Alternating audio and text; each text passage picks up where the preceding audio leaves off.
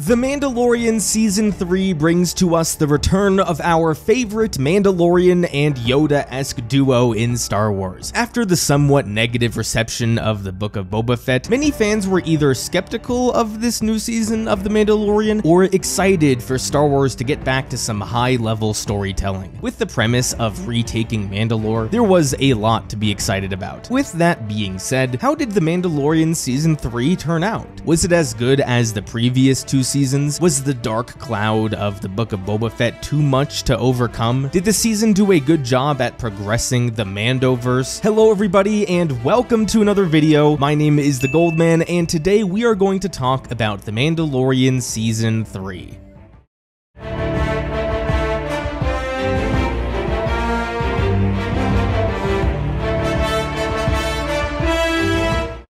Before we discuss The Mandalorian Season 3, we need to discuss the giant dark cloud that hangs over this season, and that is the Book of Boba Fett. If you watched my Book of Boba Fett one year later video I made a few months back, you would know I have a strong hatred for the series. There are a lot of Star Wars shows and movies that I don't like. The Bad Batch is one for example. I may dislike it, but at least I can say it's its own series that is completely harmless. Or a movie like Solo, a fine movie that doesn't do any harm to anyone. I cannot say the same about the Book of Boba Fett. Sure, most of the series is inconsequential, like what happened with the war on Tatooine as of right now doesn't affect anything else, but the decisions they made with Mando and his story have great consequences. Firstly, we all know how it greatly diminishes the ending of Mandalorian Season 2. Mando and Grogu's emotional goodbye was now undone only a year later. Now, at the time, I came to terms with the fact that Mando Season 2 was kinda diminished, but I had optimism that this decision wouldn't ruin Mando Season 3. I thought they would surely explain that Mando and Grogu were reunited in a different show, and for viewers that didn't watch the Book of Boba Fett, it would be weird for a second, but that would be it. The story would be able to progress from there. But boy, was I wrong. The first episode of this season makes no attempt to explain what happened. All we get is Mando saying he completed his mission and then Grogu was returned to him. At the end of the day, I get that this is all semantics. If we took the exact episodes of the Book of Boba Fett and put them under the Mandalorian title, then this wouldn't be a problem. It's kind of the same thing with the complaints about there being Mando-focused episodes in the Book of Boba Fett. People only complained because the title of the series was The Book of Boba Fett, and two episodes barely featured Boba Fett. So I get those who disagree with me telling me that if I ignore show titles, this isn't a problem. And yeah, it isn't a problem to me, but again, what about the people who hadn't watched the Book of Boba Fett? Other than the story, what made The Mandalorian so appealing to many was that it was its own story. I know people that watched the first season of The Mandalorian when it came out without seeing any of the movies and they understood it perfectly. The Mandalorian was a show that came with no extra baggage. The Mandalorian Season 2 received some criticism for having pre-existing characters show up like Boba Fett, Bo-Katan, Ahsoka, and Luke, but I've always disagreed with this criticism. Yeah, I didn't like seeing Boba Fett, but with the other three, you didn't need to know who they were to understand what was going on. You did not need to know who Luke Skywalker was to understand the gravity of the situation at the end. So both seasons of The Mandalorian were self-contained, but not Season 3. Telling viewers that they need to watch the Book of Boba Fett to understand The Mandalorian is kinda a betrayal of the foundation that the show was built on. But as I stated before, Mando and Grogu being reunited in a different series is not the only problem. What makes the decisions made in the Book of Boba Fett even worse is that Grogu plays absolutely no role in the entire third season of The Mandalorian. Prior to writing this video, I rewatched the season, and I can confidently say that if you remove Grogu from the season entirely, almost nothing changes. The only relevance that Grogu has to the season is that he needed to go back to Bo-Katan in the second episode to get her to help Din, and then in the fourth episode we saw the flashback of how he was saved. Then in the final episode we saw him deflect the fire so him, Mando, and Bo-Katan wouldn't get killed. With the first instance, you could have just had the droid go fetch Bo-Katan. And in the second instance, as cool as it was seeing Ahmed Best again, that added nothing to the story and could have been removed entirely, but I'll touch on that later. I would understand undoing the season 2 finale if it meant that Grogu would play a key role in season 3. I wouldn't particularly like the decision, but I would get it and I would be excited to see his story going forward. But nope, that's not the case. I challenge someone to please tell me me what Grogu's presence adds to the story this season, other than some laughs and cute moments. What I would argue is the best scene in Star Wars since 1980 was undone for almost no reason. But unfortunately, we all know the real reason. Grogu was brought back because he is insanely popular and Disney could continue to market The Mandalorian around him. And that thought process makes me depressed. Sacrificing a story for short-term profit is how franchises die. Look at what happened with DC and Justice League. Warner Brothers betrayed Zack Snyder and released a botched version of Justice League so they can make a quick buck. And now the DC brand is in shambles. I would argue Star Wars is in a much better place than DC, but let's pray to God things don't get worse. So as much as I love judging movies and shows based on their own merits, the Book of Boba Fett is a giant dark cloud that hangs over The Mandalorian Season 3 and it cannot be ignored.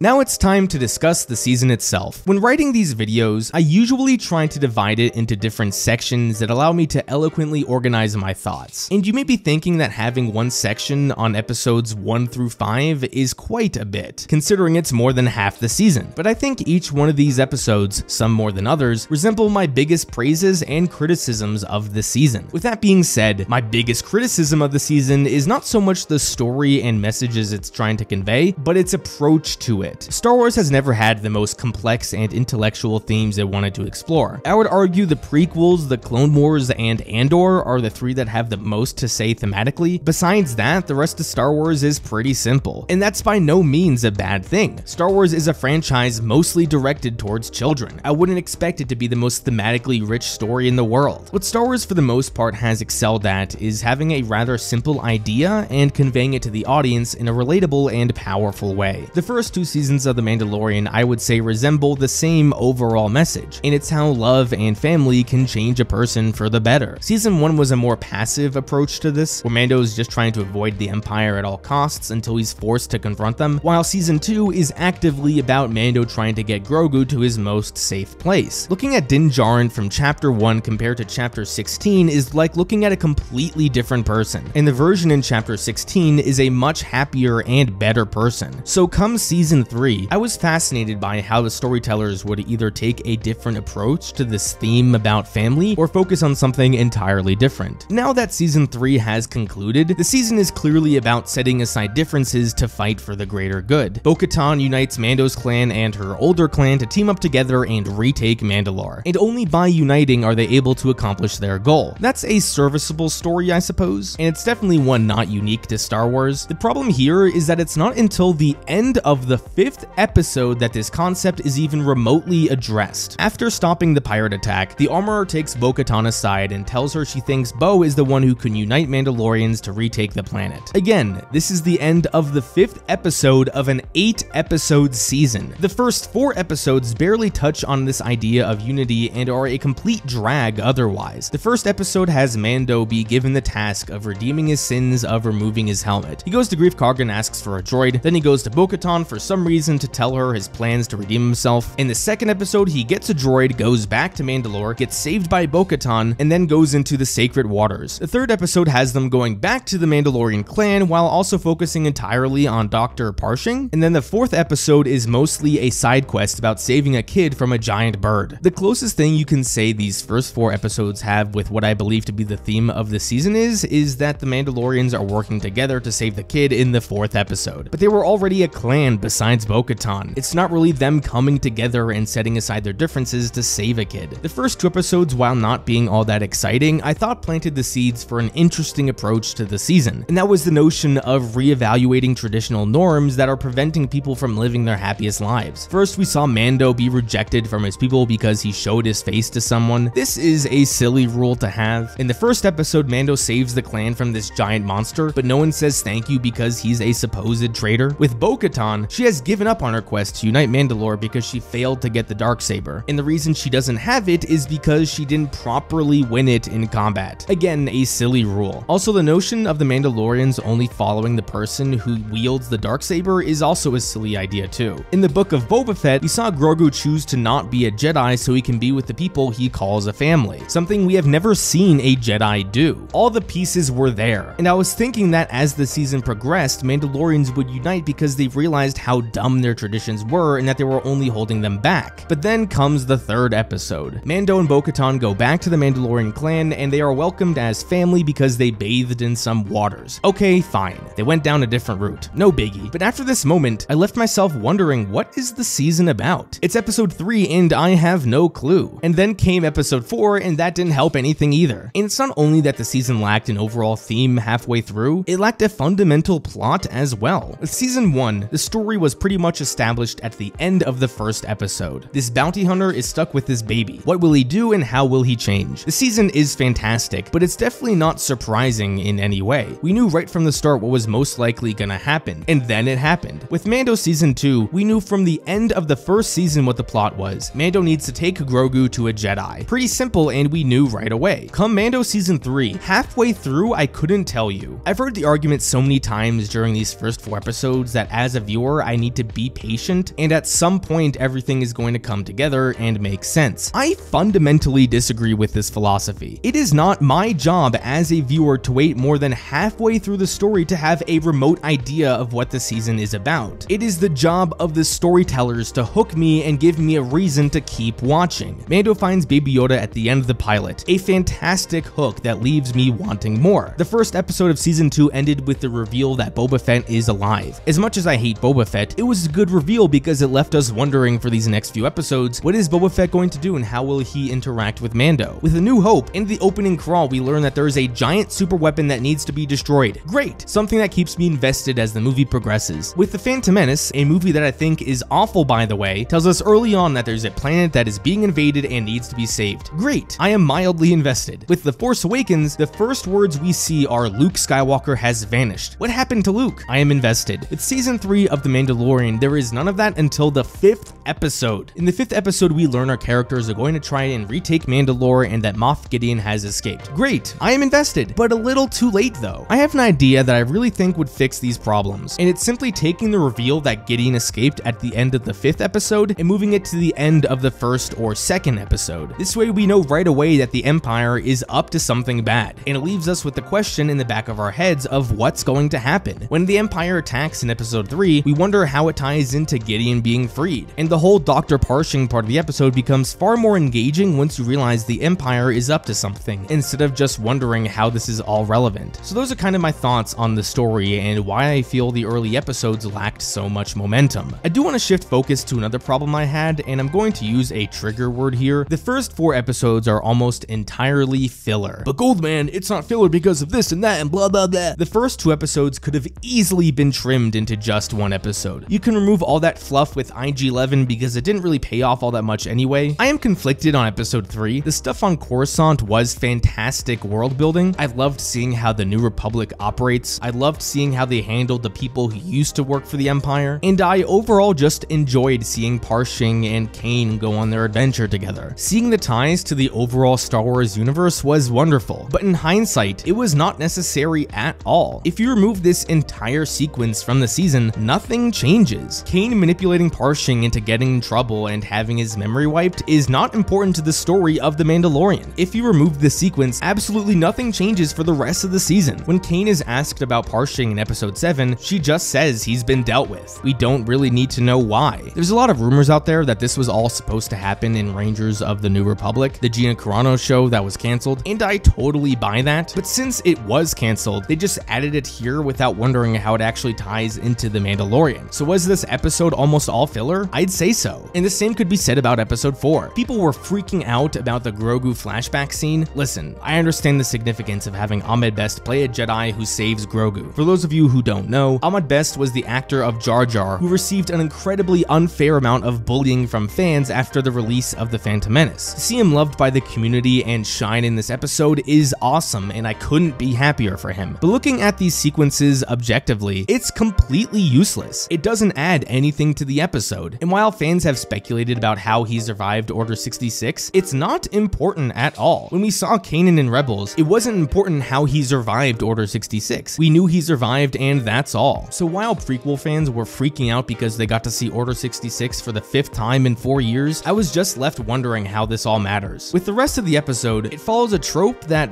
really annoys me, and that's spending a lot of time accomplishing something that narratively could be done in a few minutes. It seems to me the whole purpose of this episode was so later on Paz Vizsla would agree to help Bo-Katan because she helped save his son. But she could have saved her son in like a two minute sequence and narratively the exact same thing would be accomplished. So yeah, episode 4 was completely useless. What's really disappointing is that I'm probably gonna get some comments saying I just hate fun. If you just had fun, then you would enjoy these episodes. I hate when people say this. I love my Star Wars fun. Chapter 9 is like 45 minutes of straight Star Wars fun and it's one of my favorite Mandalorian episodes.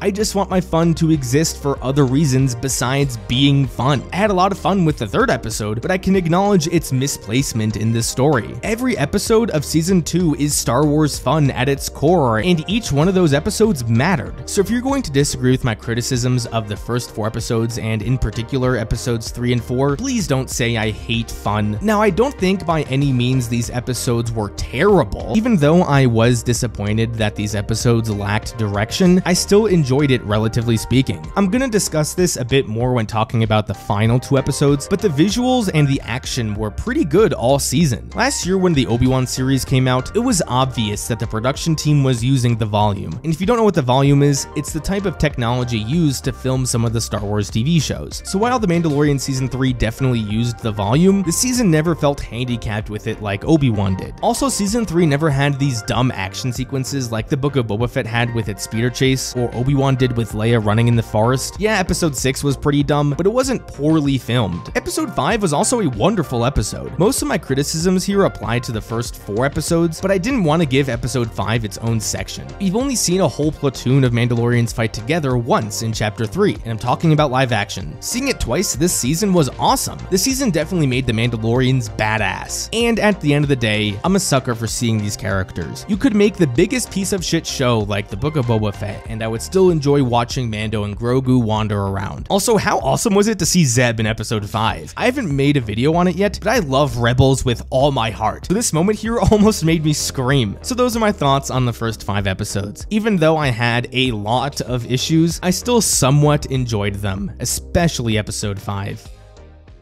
Before I continue on with the rest of this video, only 5.4% of my viewers are subscribed to this channel. So if you're enjoying this video, please consider subscribing for more content like this. Thank you.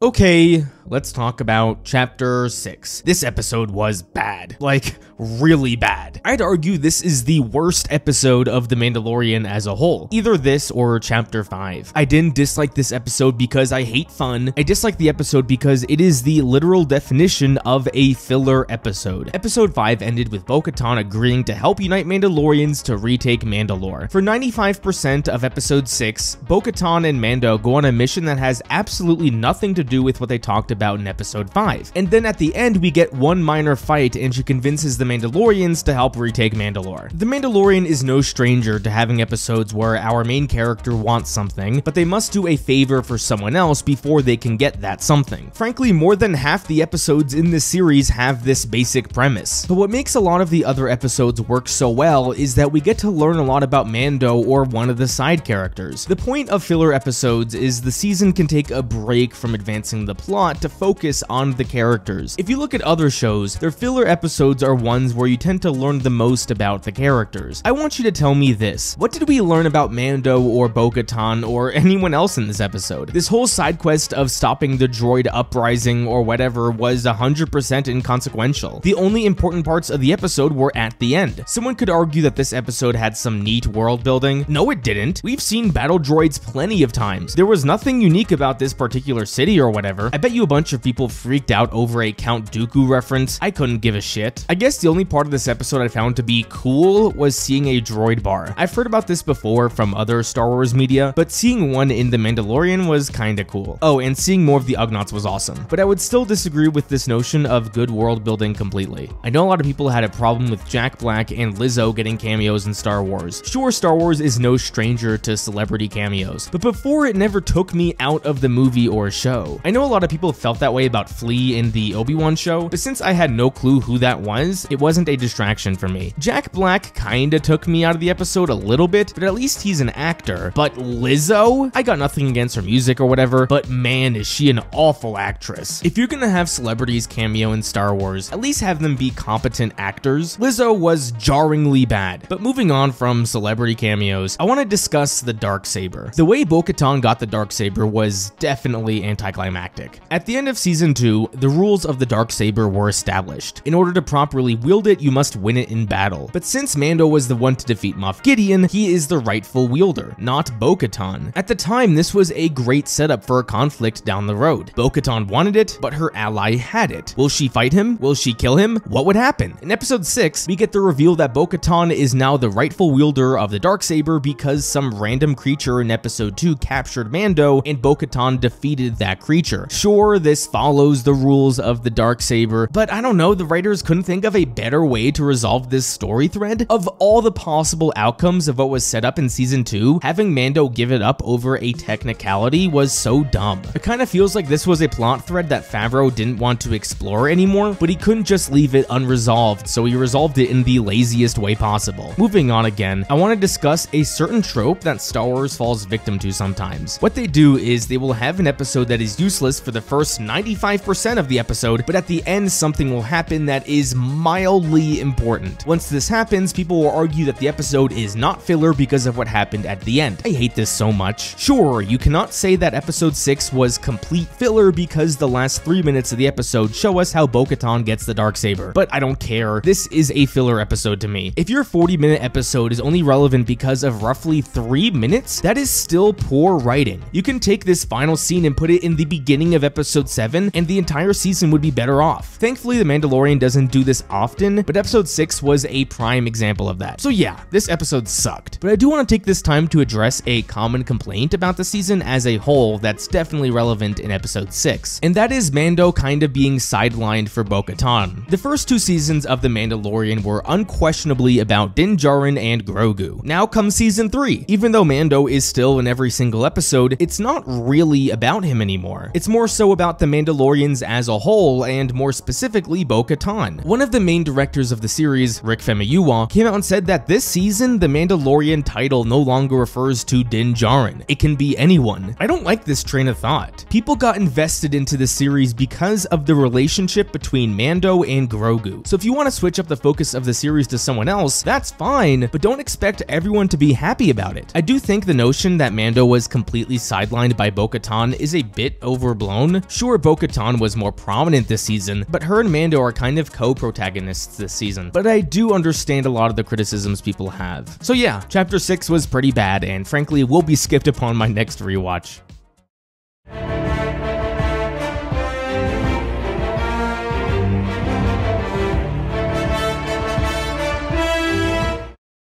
So let's take a look at the final two episodes of the season. Almost everyone would agree that these two episodes are the best episodes, but are they even remotely as good as the final two episodes of season 1 or 2? Hell no. There are a lot of fantastic moments in these final two episodes, but a lot of head scratchers as well. First I'll talk about what I didn't like and then I'll say what I liked. Easily the biggest issue I have with these episodes and kinda the whole season is that there's no story here, just plot characters talk to each other pretty much only about the events happening around them, never how they actually feel. There's this one fantastic scene in the 7th episode where Mando tells Bo-Katan he doesn't care about the Darksaber, he follows her because of her character and who she is. That's a great scene, but besides that, I can't think of any other scenes that were solely about character. Sure, we got some moments highlighting the rivalry between the two clans, but we already knew there was tension between the tribes. And then at the end, we get this cute scene where Grogu gets adopted by Mando, but we already knew how much Mando loves Grogu, so seeing Mando confess his love again was nothing special. The first two seasons had these moments of character development, just moments where two people are either talking about something personal or sharing an intimate moment. Mando and Grogu looking into each other's eyes is so emotional because the two have come so far together and now it's time to say goodbye. Is there anything like that in season 3? I guess there's the moment where they finally retake Mandalore and Bo-Katan's holding the torch, but overall, no story, just plot. When I dive deep into the characters, I love to analyze their arcs or their character development. Is there anyone in season 3 I could analyze? Really only Bo-Katan, but she didn't really have an arc. She kinda just learned to accept Mando's clan and then united it with her original clan. No story, just plot. Now speaking of the plot, a lot of it was quite anticlimactic. From the very first episode in the series, we had heard about how Mandalore was purged and stolen from Mandalorians. So this entire two episode battle is something that has been set up since the first episode of the series, and the Mandalorians kinda take it back with ease. Usually in big battles like these, there's a moment where everything feels lost, that there's no hope and our characters are about to get screwed. There's an attempt to do this at the end of the seventh episode. The Mandalorians fall for a trap, Mando is captured, and Paz Vizsla is dead. All hope seems lost. But to begin the eighth episode, there's little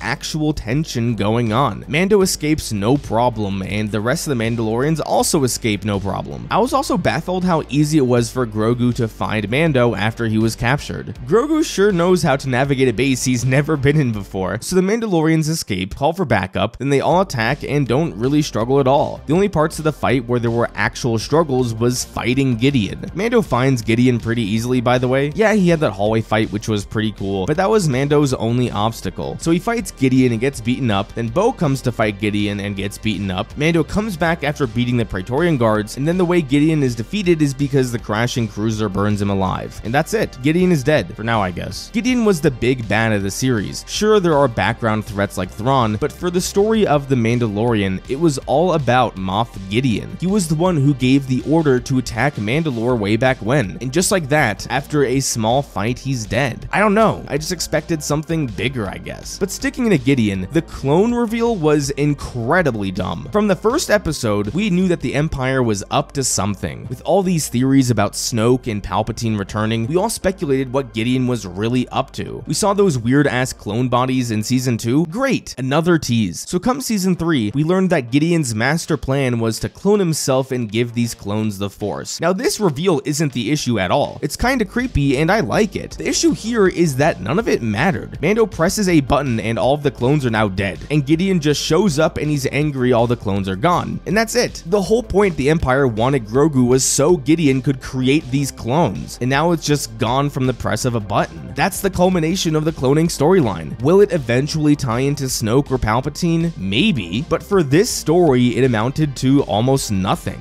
Wouldn't it have been much cooler if Gideon's clones actually came to fight, and it was some big final battle that took a huge toll on Mando and Bo-Katan? It would be cheesy, but I would prefer it than nothing. Now, I wouldn't be surprised if Gideon was actually dead, but one of his clones escaped or something, and that was the villain of the next season. I would hate that, but I can totally see it happening. So that's it from Moff Gideon. Kinda a wasted character if you ask me. The last criticism I do have is an incredibly minor one, but it's one I stand by. At the end of season 1, before Mando leaves, he takes a moment to say goodbye to Cara Dune and Greef Karga. He basically thanks them for everything, and they embrace, knowing a strong friendship was formed. This is basically the epilogue of the season. In season 2, we don't get a moment like this, but it made sense considering the season ended right after the final battle ended. There was no epilogue in season 2, just a conclusion. The Book of Boba Fett and Mando season 3 both have epilogues, but in neither one does Mando have a final conversation with his closest ally. In the Book of Boba Fett, Mando helps save Tatooine and then just dips off screen. No final conversation with Boba Fett. In The Mandalorian season 3, he had spent the entire season with Bo-Katan. She was in every single episode. Mando even had a conversation where he told Bo how much he admired and respected her. The two grew incredibly close, but after they retake Mandalore, they give each other a subtle nod and that's it. I'm not asking for an emotional goodbye where the two confess their love for each other and they kiss. I just want a goodbye. I think the reason the lack of a scene like this bothers me is because human beings naturally value saying goodbye in some way. When we spend a lot of time with someone we've grown to care about and we know it's over, people don't just leave without saying anything. I'm sure some people have experienced this a few times, but not often. People may have an elaborate goodbye or just a simple hug or something. Just a semblance of letting the other person know that this is it for a while. So when the story doesn't give us that simple goodbye, it kinda robs the audience of that sense of closure. Is this an incredibly minor nitpick? Definitely, but it's something that bugs me. Two other aspects of the season I found to be anticlimactic were the resolution of the Darksaber and the Mythosaur. With the Darksaber, it has been emphasized how big of a deal it is to wield it. The whole reason Bo was depressed in the beginning was because she wouldn't wield the Darksaber. Then she gets it back in a very anticlimactic way in episode 6, and then it's just destroyed here. At least when the Skywalker lightsaber was destroyed in The Last Jedi, the movie treated it as a big deal. With the Darksaber, Gideon just crushes it with his hands and then it's never addressed again. Strange way to conclude the Darksaber story. With the Mythosaur,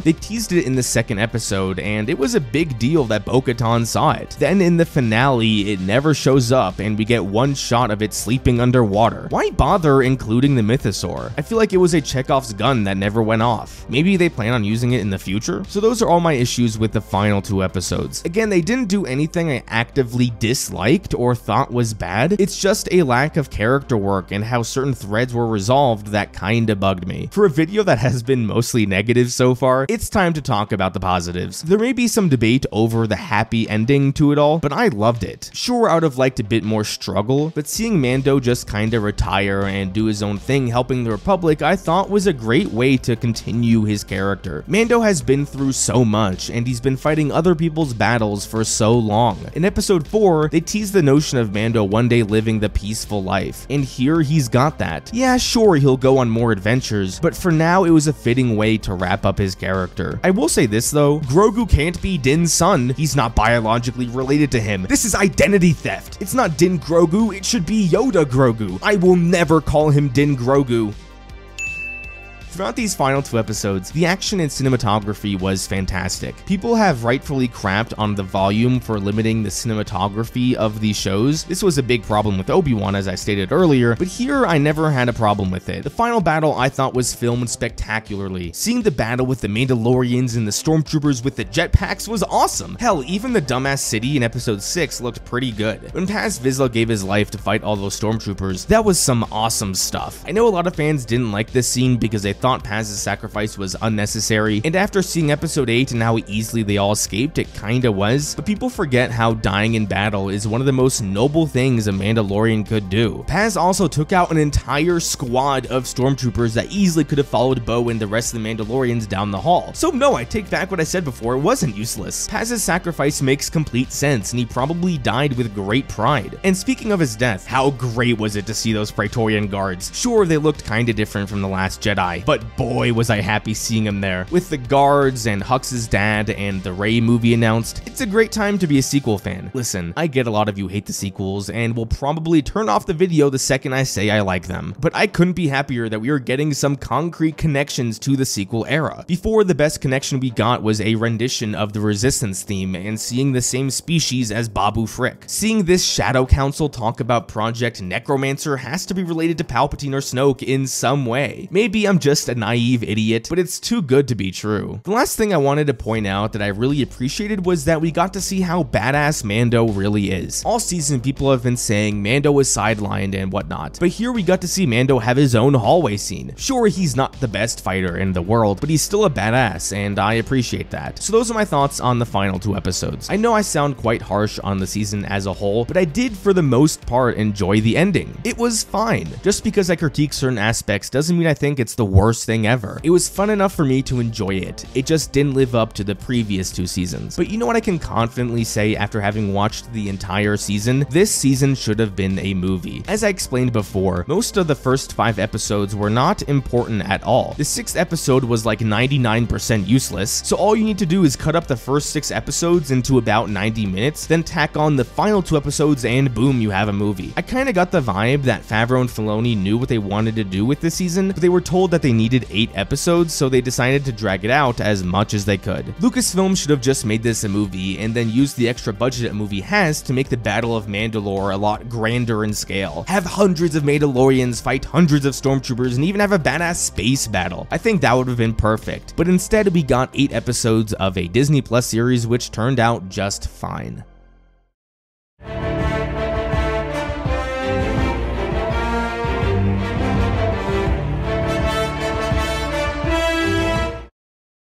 So, what is the future of Star Wars? First, we'll look at The Mandalorian itself, then the brand as a whole. The interesting thing about The Mandalorian Season 3 ending is that it could be a series finale. Mandalorian Season 2, I think, should have been the final season, but there were still some remaining plot threads. With this season, there's nothing. All we got is that Mando is going to do some missions for the New Republic. If this were the finale, I'd be satisfied, but reports are out that Favreau has already written a Season 4, so we're gonna get more. In a way, I'm glad there's no cliffhanger or remaining plot threads. The next season could be pretty much about anything. I have no expectations about how character X should evolve or how story point Y needs to conclude. The Mandalorian Season 3 kinda felt constricted in a way because it had to resolve what was left from Mandalorian Season 2. But Season 4 has all the freedom in the world. I hope this is a new phase of The Mandalorian, if you will. Of course, there's a lot of speculation that they might just turn the cancelled Rangers of the New Republic show into The Mandalorian Season 4, and I'm totally down with that. People are gonna say that since season 3 wasn't great, The Mandalorian is dead, it's over, but I disagree. It's time for a fresh start. Now the future of Star Wars is interesting. In typical YouTube fashion, people freaked out because the viewership numbers of season 3 were not as high as season 2. This of course means that Star Wars is dead, right? Nope. There's this notion out there that because Star Wars isn't the most popular franchise anymore, that means the franchise is dying or that it's already dead. Maybe it's just me, but I don't care. Sure, it was fun to see The Force Awakens become one of the most popular movies ever made, but I don't need Star Wars to be that. The future of Star Wars currently excites me to no end. For the first time, Star Wars is really embracing the fact that its timeline spans hundreds and thousands of years. Star Wars going forward literally has something for almost every Star Wars fan. If you love The Mandalorian, well, all these shows in the Mandoverse, including an Ahsoka Tano show, are going to culminate in a movie directed by Dave Filoni. That's awesome. Are you a big sequel trilogy fan? Well, you're getting another movie with Rey rebuilding the Jedi Order. Do you want Star Wars to be super serious? Well, you got Andor Season 2 coming out next year. Do you love Star Wars animation? Well, you got Bad Batch and Visions continuing. Do you wish Star Wars would just move on from characters we know and explore the past? Well, we got The Acolyte and a movie about the first ever Jedi. For once, we're getting variety in Star Wars, and I love that. So is Star Wars not as popular as it was 8 years ago? Yeah, but that shouldn't impact your investment in the franchise, whether you're happy or not. So, The Mandalorian Season 3. It's not great by any means. It was fine. In a perfect world, I would title this video The Mandalorian Season 3,